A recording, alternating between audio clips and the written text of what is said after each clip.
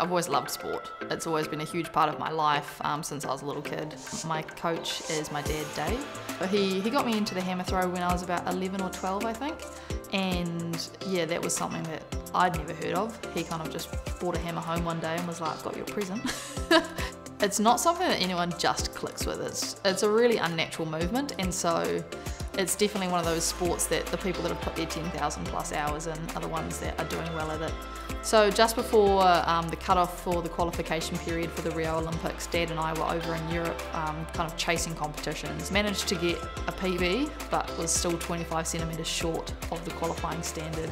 And so that was like just not a good feeling because, you know, you've, you've given everything and it's, it wasn't even that you were at a big competition and you didn't do well, it was kind of like you didn't even make it to that. This time around was definitely like the revenge tour, just really wanted to get it done. Dad was just like, look, you just need to relax, like you're just trying way too hard, like you, you know you're in good shape. First throw was just like, get it between the lines, get a mark on the board, um, and just relax. And absolutely smoked it. So threw 73.40, I think, the first round.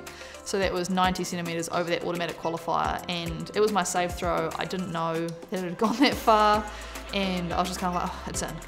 Went to see dad and I was like, wait, what? what's that mark? Like, excuse me? Sharing that moment with my dad um, was just so special because it's like both of our Olympics, it's not just mine. He's been with me the whole journey, um, and so I just kept kind of whispering to him while I was over at the coaching stand, was just like, we're going to Tokyo, Dad, we're going to Tokyo.